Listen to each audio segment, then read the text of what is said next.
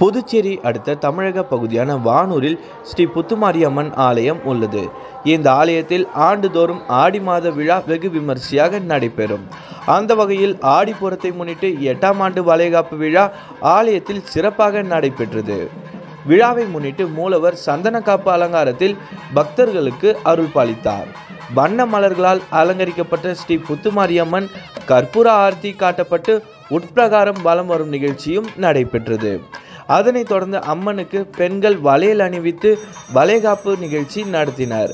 மேலும் அதனைத் தொடர்ந்து ஊஞ்சல் உற்சவமும் நடைபெற்றது. இதில் வானூர் மட்டுமல்லாமல் புதுச்சேரி மற்றும் தமிழகத்தை சேர்ந்த ஏராளமான பக்தர்கள் கலந்து கொண்டு சுவாமி தரிசனம் செய்தனர்.